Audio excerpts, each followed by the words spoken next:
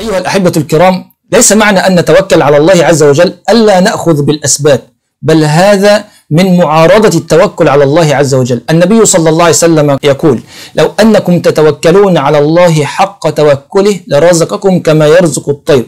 تغدو تأخذ بالأسباب. تغدو أي تذهب وتروح وتبحث عن رزقها.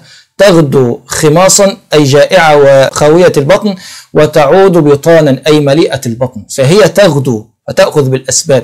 وقد ورد ذلك عن النبي صلى الله عليه وسلم عندما كان يذهب إلى الغزو أو إلى الحرب والجهاد فكان آه، يلبس البيضة وأيضا كان يلبس المغفر وغير ذلك والدرع وكان عنده درع فكان يحتمي في الأشياء أو يلبس الأشياء التي يحتمي بها المسلح أو المجاهد وهذا لا ينافي التوكل على الله عز وجل.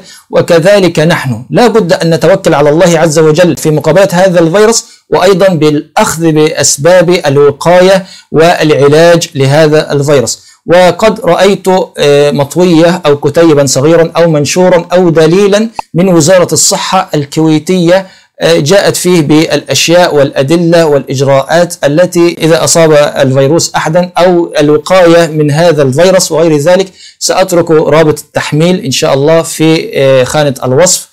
آه، وأيضا آه، في أول تعليق من التعليقات أثبتها لكم إن شاء الله حتى تعم الفائدة وانشروها. فهذا أمر طيب بإذن الله عز وجل. وكما قال النبي صلى الله عليه وسلم من استطاع منكم أن ينفع أخاه فليفعل.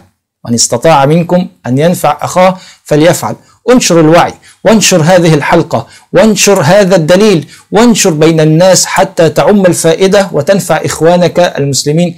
أسأل الله سبحانه وتعالى أن يمن علينا من فضله بالعافية والصحة والسلامة من كل سوء ومن كل إثم ومن كل شر وأن يقينا الأمراض وأن يقينا شرها وأن يقينا سيئها وأن يصرف عنا الطاعون وهذا الفيروس وأن يمتعنا بالصحة والعافية وأن يطيل أعمارنا في العمل الصالح وأن يحسن خاتمتنا. اللهم آمين. وأن يجعلنا من أوليائه وأنصاره وجنده وحزبه وأن يشرفنا بنفع إخواننا المسلمين في كل مكان وأن ندعو إلى الله عز وجل ونجاهد في سبيله وأن ندل الناس عليه. أسأل الله أن يشرفنا بذلك. والحمد لله رب العالمين. وصلى الله على نبينا محمد وعلى آله وصحبه وسلم.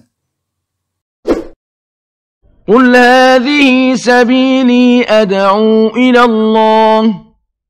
على بصيرة أنا ومن اتبعني. وسبحان الله وما أنا من المشركين.